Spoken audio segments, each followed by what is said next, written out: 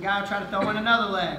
That isn't always the best idea, all right? But again, we're stepping through all the reaction we could possibly see. Um, and I got the question, well, what if I'm pushing back to my hip smash strong position? What keeps them from stretching me out and, and putting me on my back or rolling me through? Me keeping my core flexed and my chest low, all right? That's why when I'm pushing back, I'm getting my chest super low. I'm blocking here because I know he wants to pull me and stretch me out.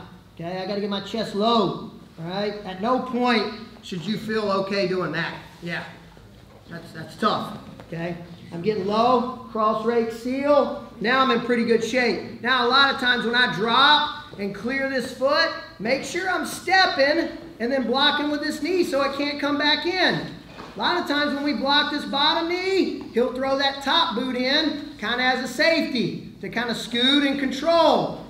Again, I'm going palm out. Now, when I go palm out this time and attack the foot, I'm taking his foot straight to his head. Okay? Taking his foot straight to his head. All right? I'm not throwing it out. If I throw it out, he'll put it right back in. So I want to elevate it straight to his head. Remember when I talked a second ago about when I take one of his feet and put it towards his head, what direction does he go? To his back. Now, when I elevate this to his head, my, my front leg, I'm going to scissor my legs and I'm going to chase his hip. See how I got, relax right here. See how I got my knee all the way outside his hip? That's important. I didn't let go of his foot till like the very end. But that's what I'm trying to do. I'm trying to chase his hip with my knee. So everybody get on your right hip in a strong position. Okay?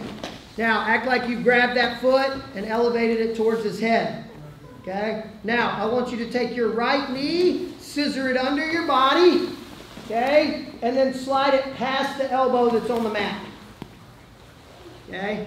You should have your right knee behind your right elbow and your left hand should be lifting the leg.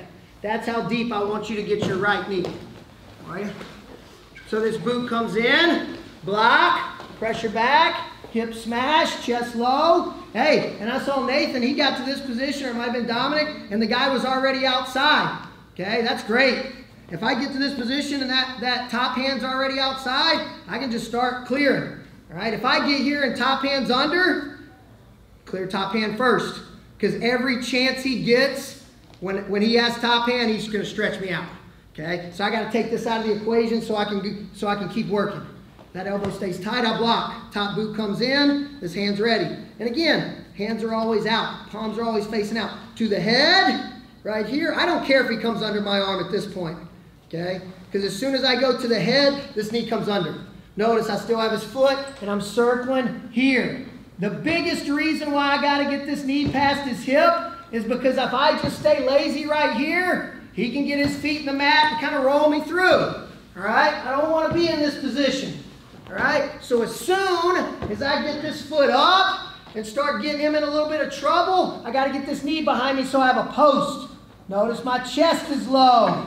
All right? Everything about my center of gravity is low. All right? So he can't roll me around. The taller I get, the more stretched out I am vertically, the more unstable I am. If you feel him, can you just put your arm right here and patch him? But with the top boot coming in, 100%. 100%. This is what he's talking about. All right? So throw that boot in.